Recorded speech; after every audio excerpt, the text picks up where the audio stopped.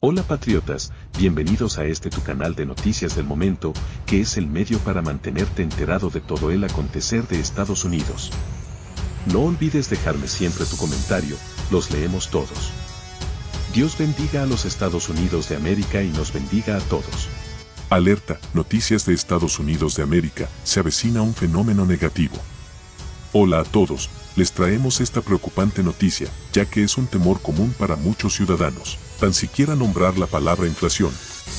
Mis amigos, la inflación se refiere al aumento general de los precios en una economía, lo que significa que cada vez cuesta más dinero comprar cosas. Y esta gran responsabilidad que tiene el presidente de turno es velar para que no se dé este tipo de cosas. Pero al parecer se está dando y lo peor se avecina para el próximo año.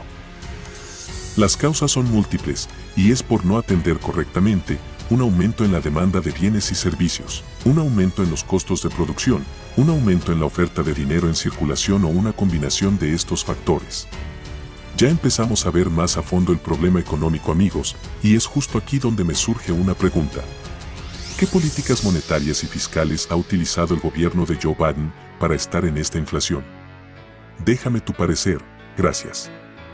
Ahora bien, en primer lugar, cuando los precios aumentan, los ciudadanos tienen que gastar más dinero en bienes y servicios básicos, lo que puede aumentar la presión sobre los ingresos y el poder adquisitivo de las personas. Además, la inflación puede dificultar la planificación financiera a largo plazo, ya que es más difícil predecir cuánto costarán las cosas en el futuro. Los gobiernos y los bancos centrales generalmente trabajan para mantener la inflación bajo control mediante la implementación de políticas monetarias y fiscales adecuadas. Sin embargo, cuando la inflación se desborda, puede causar problemas económicos como una disminución en el valor de la moneda, un aumento en los tipos de interés y una disminución en el comercio internacional.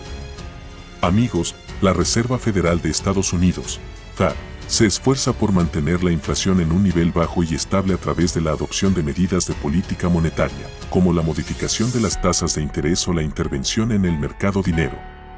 Pero yo me vuelvo a preguntar, ¿será que los dirigentes de la Reserva Federal de Estados Unidos, del actual gobierno, no está tomando las decisiones correctas? Son muchos más los interrogantes mis amigos, pero me gustaría leer tus comentarios al respecto. Muchas gracias y bendiciones para todos.